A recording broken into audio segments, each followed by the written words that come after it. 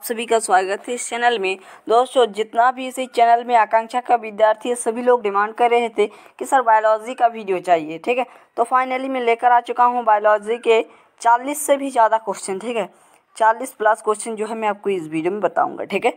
एक एक क्वेश्चन का बहुत ही ज़्यादा इंपॉर्टेंट है, ठीक है? आप लोग देख लीजिए। देखिए, पहला क्वेश्चन क्या है कि मटर को अपने प्रयोग के लिए किसने चुना? तो इसका जो राइट आंसर हो जाएगा, क्या हो जाएगा? मेंडल ने चुना था, ठीक है? अगला सवाल है, क्या है कि प्लेनेरिया के आँख होती है? तो दोस्तों, प्लेनेरिया के जो आँख होती है दोस्तों, बहुत ही ज़्यादा साधारण होती है। तो इसका राइट आंसर क्या हो जाएगा? बहुत साधारण, ठीक है? उसके बाद दोस्तों, आगे बात करें। दोस्तों, अगला सवाल देख सकते हो, क्या है? ओजन गैस पाई जाती है। दोस्तों, ओजन गैस जो है, समताप मंडल में पाया जाता है। किसमें पाया जाता है बाबू? समताप मंडल में पाया जाता है, ठीक है ना? अगला देखते हैं, अगला क्वेश्चन देखते हैं, क्या है? कि किस गैस को जीवनदायी गैस कहा जाता है। दोस्तों, आप लोग किसमें सांस लेते हो? क्या हाइड्रोजन में सांस लेते हो? बिल्कुल नहीं। आप लोग किसमें सांस लेते हो? किस मतलब किस गैस में सांस लेते हो? ऑक्सीजन में लेते हो? तो दोस्तों, ऑक्सीजन क्या है? जीवनदायी है। आप ऑक्सीजन गैस से सांस ले रहे हैं, तभी आप जीवित हैं, ठीक है? इसीलिए जीवनदायी गैस किसे माना जाएगा? ऑक्सीजन गैस को, ठीक है? याद रखिएगा। दोस्तों, अगला सवाल है, वर्षा तापमान, पवन आदि पर्यावरण के क्या है? भौतिक कारक है। साधारण सा सवाल है, भौतिक कारक है, ठीक है?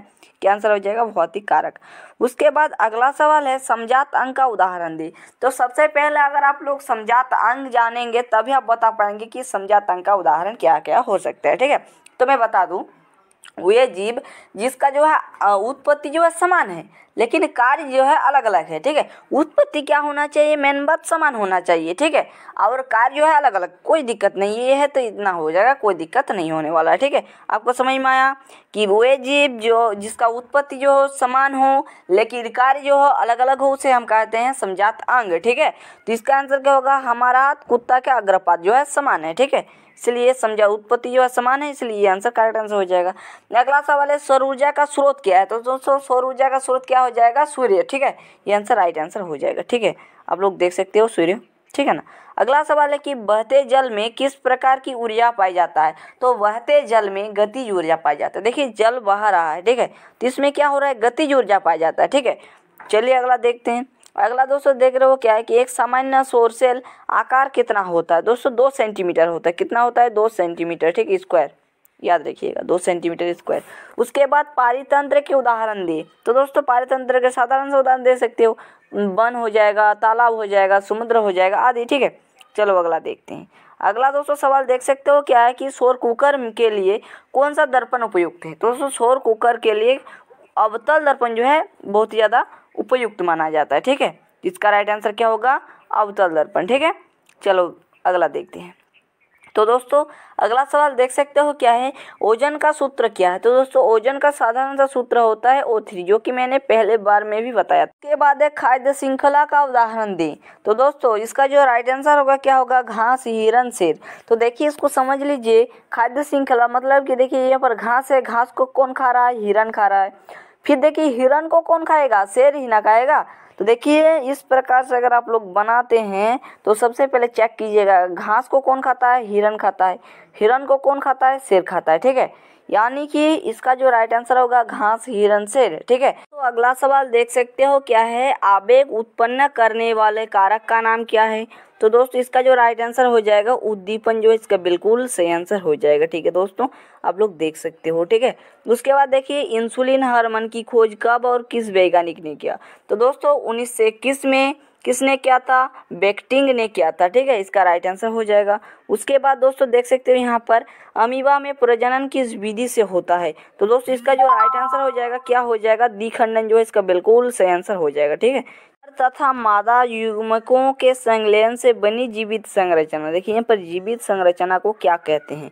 तो ठीक है तो इसे कहा जाता है युग्मनज, ठीक है? क्या कहा जाता है? युग्मनज कहा जाता है। ओके, चलिए अगला देखते हैं। अगला है पूर्व निश्चित अंडाणु को गर्भाशय में स्थापित करने की क्रिया को क्या कहा जाता है? तो दोस्तों, उसे कहा जाता है रोपण कहा जाता है। क्या कहा जाता है? रोपण कहा जाता है, ठीक है ना? उसके बाद दोस्तों, अगला सवाल देख सकते हो, क्या है? कि एक ऐसे पौधों का नाम लिखे जिसमें मुख्यतः कीट परागण होता है। तो दोस्तों, इसका जो राइट आंसर हो जाएगा, क्या हो जाएगा? मदर ठीक है? इसका राइट आंसर हो जाएगा, ठीक है? उसके बाद दोस्तों, देख सकते हो क्या है? जिन का रासायनिक संरचना क्या है? तो दोस्तों, जिन की रासायनिक संरचना क्या है? डीएनए ठीक है? याद रखना है, ये सब क्वेश्चन को बहुत ही ज़्यादा इंपॉर्टेंट क्वेश्चन मैं आपको बता रहा हूँ, ठीक है ना? और आप सब लोग क्लासेस नहीं रुकेंगे, ठीक है? आप लोग का क्लासेस भी चलेंगे, ठीक है? कोई दिक्कत नहीं होने वाला तो इसका राइट आंसर क्या होगा? डीएनए जो है, इसका बिल्कुल सही आंसर हो जाएगा। जीवाणुओं में किस प्रकार का पोषण पाया जाता है? तो दोस्तों, जीवाणुओं में जो है, परजीवी पोषण पाया जाता है, ठीक है ना? उसके बाद दोस्तों, अगला सवाल देख सकते हो, क्या है कि शरीर में पाए जाने वाला जैव उत्प्रेरक पदार्थ को क्या कहते हैं? तो दोस्तों, इसे ही तो कहा जाता है एंजाइम। तो दोस्तों, मैं कह दूँ कि एंजाइम क्या है? ये मैंने एक वीडियो में बताया था कि एंजाइम क्या है। ये कमेंट में ज़रूर बताना। लेकिन कोई भी स्टूडेंट कमेंट नहीं किया। दोस्तों, मुझे बहुत ही ज़्यादा ख़राब लगा। दोस्तों, आप लोग कमेंट नहीं कर रहे हो। कमेंट किसी भी हालत में करना है, ठीक है? आप लोग किसी भी क्वेश्चन में डाउट है तो कमेंट करो, ठीक है ना? कि ये सॉल्व नहीं हो रहा है। दोस्तों, मैं हूँ ना, आप लोगों का हेल्प किसी भी तरह से मैं करूँगा, ठीक है ना?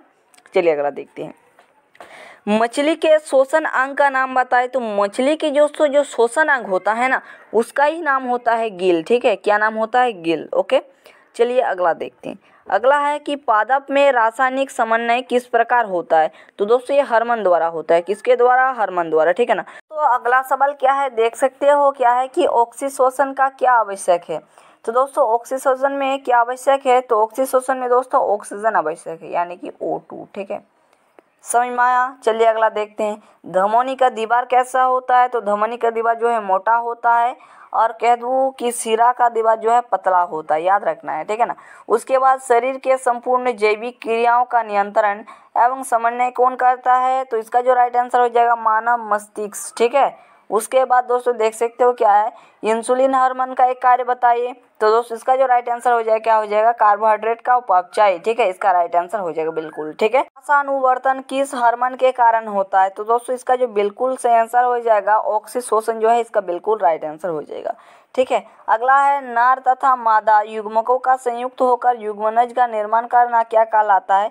तो दोस्त, इसका जो बिल्कुल राइट आंसर हो जाएगा, निषेचन जो है, इसका बिल्कुल राइट आंसर हो जाएगा, ठीक है? उसके बाद क्या है कि रजोदर्शन किस आयु में प्रारंभ होता है?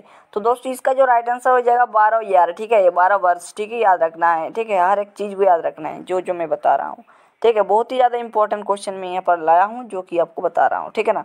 उसके बाद देखिए, निषेचन के बाद बनने वाला उत्पाद का नाम लिखिए। तो क्या बनता है निषेचन के बाद? युग्मनज बनता है ना? उसके बाद है, मेंडल द्वारा वर्णित अनुवांशिक इकाइयाँ या कारकों को क्या कहा जाता है? तो उसे कहा जाता है जिन, ठीक है? उसे क्या कहा जाता है? जिन। ठीक है? उसके बाद देखिए गुणसूत्र एक्स वाई और एक्स एस के नामों से जाना जाता है। तो दोस्तों, उसे क्या कहा जाता है? लिंग गुणसूत्र ठीक है ना? उसे कहा जाता है लिंग गुणसूत्र ठीक है? उसके बाद देखिए, किस स्थान को मानव का उद्भव स्थान माना जाता है? तो दोस्तों अफ्रीका में माना जाता है, ठीक है ना? उसके बाद देखिए, जिन कहाँ पाए जाते हैं तो दोस्तों, साधारण सा सवाल है, जिन गुणसूत्र में ही पाया जाता है, ठीक है ना? उसके बाद देखिए, क्या है कि मनुष्य में कितने जोड़े गुणसूत्र पाया जाता है? तो मनुष्य में दोस्तों, तेईस जोड़ा गुणसूत्र पाया जाता है, आपको याद रखना है, जो कि आप लोग के एग्ज़ाम के लिए बहुत ही ज़्यादा इंपॉर्टेंट है, ठीक है? उसके बाद देखिए, ग्लूकोज का रासायनिक सूत्र क्या है? सी सिक्स सिक्स ठीक है? इसका राइट आंसर हो जाएगा, बिल्कुल, ठीक है? उसके बाद देखिए, कुत्ता कैसा जीव है? तो दोस्तों, आप लोग को पता होगा, कुत्ता जो है सर्वहारी जीव है, ठीक है ना? चलिए अगला देखते हैं। अगला दोस्तों है, मानव वृक्क किस प्रणाली का एक हिस्सा है? तो मानव में वृक्क जो है, उत्सर्जन तंत्र का हिस्सा है, ठीक है? उसके बाद देखिए, मैग्नीशियम पाया जाता है। दोस्तों, मैग्नीशियम क्लोरोफिल में पाया जाता है, ठीक है ना? आप लोग का जैव प्रक्रम जो चैप्टर है, अगर आप लोग उसको पढ़े होंगे ना तो बहुत ही फ़ेमस फ़ेमस सवाल मैं लाऊँगा और भी कोई दिक्कत नहीं है, ठीक है ना? और ये जो सवाल मैं आपको बता रहा हूँ, ये प्रक्रम से ही बता रहा हूँ, ठीक है? उसके बाद डीएनए कहाँ पाया जाता है? तो डीएनए दोस्तों कोशिका के केंद्रक में पाया जाता है। तो डीएनए कहाँ पाया जाता है? कोशिका के केंद्रक में पाया जाता है। और अगला जो सवाल है कि ए सॉरी एडीपी और एटीपी का पूरा नाम लिखें। तो दोस्तों यहाँ पर देखिए, मैं कुछ भी उत्तर नहीं लिखा हूँ, इसीलिए मैं बता रहा हूँ, इसका जवाब जो है आपको कमेंट सेक्शन में देना है। मुझे भी पता लगे कि आप लोगों को, आप लोग कितना जानते हैं, ठीक है? किसी भी हालत में इसका जवाब लोगों को कमेंट सेक्शन में देना है। मैं फिर से कह रहा हूँ, इसका जवाब आप लोगों को कमेंट करके देना है, ठीक है ना? इसका जवाब आप लोगों को कमेंट करके देना है ताकि मुझे भी पता चले कि आप लोग बहुत सारे क्वेश्चन जो है जानते हो, ठीक है? और इसी तरीके का शानदार वीडियो पाने के लिए इस चैनल को सब्सक्राइब कर लीजिए। और मैं कह देता हूँ पहले से ही कि आप लोगों का D N A D N A और R N A R N A इसका एक शानदार वीडियो आने वाला है, ठीक है? अब लोग को दिक्कत नहीं होगा। डीएनए और आरएनए से जुड़ी अगर कोई भी क्वेश्चन आकांक्षा एग्ज़ाम में पूछा जाता है तो आप लोग छोड़ के नहीं आएँगे। उसको एकदम करके आएँगे, ठीक है ना? इसलिए चैनल को सब्सक्राइब कर लीजिए डीएनए और आरएनए का फुल डिटेल्स वीडियो देखने के लिए। और इससे एक दो सौ सवाल जो है पूछा जाता है, जो आप लोगों को एग्ज़ाम के लिए आप लोगों के बहुत ही ज़्यादा इंपॉर्टेंट है, ठीक है? यहाँ पर चालीस से भी ज़्यादा आपको क्वेश्चन बता दिया। आई होप कि आप लोगों को वीडियो बहुत ही ज़्यादा पसंद आया होगा, ठीक है दोस्तों? और इसी तरीके का और भी शानदार वीडियो पाने के लिए चैनल को सब्सक्राइब कर लीजिए ताकि इसी तरह का वीडियो जो है मिलते रहें, ठीक है? और आप लोग और इसके बाद किस प्रकार का वीडियो चाहते हो कमेंट कीजिए। चलिए दोस्तों, मिलते अगले वीडियो में। बहुत जल्द तब तक के लिए थैंक यू जय